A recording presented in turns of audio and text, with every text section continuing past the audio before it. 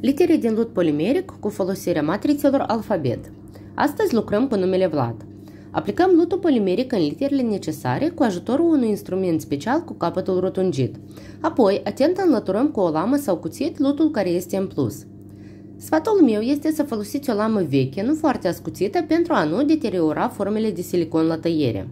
Imediat scoatem literele din forme, dar dacă lutul este prea moale și se deteriorează forma inițială a literilor, Vă recomand să plasați forma în frigider pentru 10 minute înainte de a extrage literele. Unii meșteri aplică literele direct pe cană, dar după părerea mea este mai sigură aplicarea literelor pe o bază din lut polimeric.